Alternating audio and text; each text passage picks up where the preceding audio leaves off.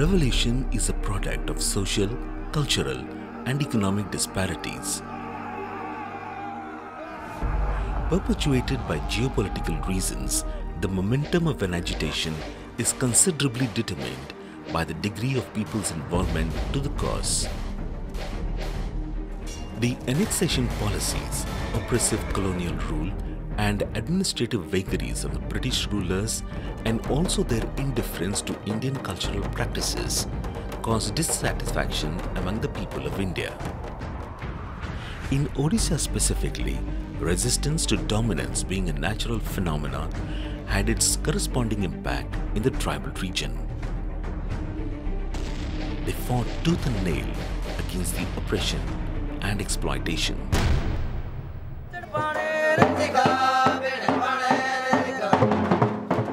The Kandhas are worshippers of nature.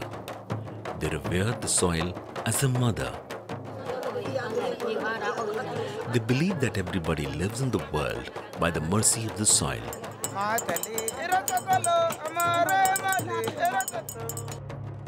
They sacrifice a member of the tribe for mother soil and celebrate Meria every year.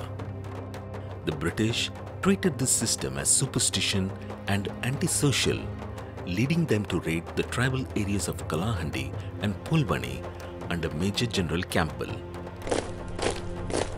The Kandha's philosophy is that a human's physical body is created from the soil by God. So if anyone sacrifices a life for the uplift of someone else, so it will be a transformation. When the British captured Nagpur, Kalahandi went under their control and as per the institution of kings and zamindars of Kalahandi, they collected tax from the Kandhas and their age-old tradition of Meria sacrifice was banned.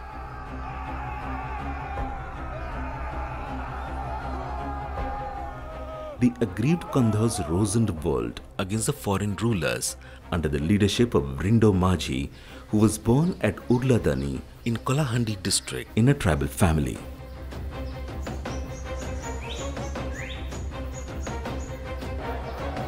He organized movement against the British. Despite all efforts, it became difficult on the part of the British to nab the rebels.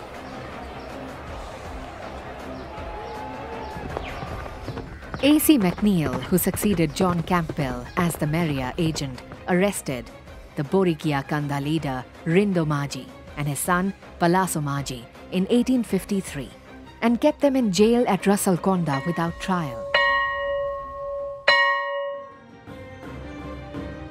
The revolution grew much stronger among the Kandhas after Majhi's arrest.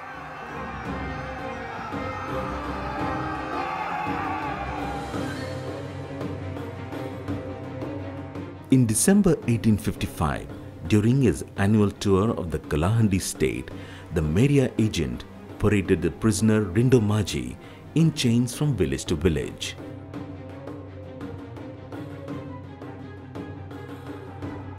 The Borikia of Kandhas, who could not stand this humiliation, hurled on their chief by the British agent. On the 10th of December 1855, they attacked the camp of Lieutenant Colonel McNeill. However, the attack was repulsed with some casualties on both sides. Two or three days later, the Kutia Kandhas joined the Borikia Kandhas and they together made the second attack on the agent's camp. It was due to the wisdom and help of Dinabandhu Patnaik, the Tehsildar, that McNeill could escape to Rasalkonda. On the 10th of December 1855, the British hanged Rindo Majhi.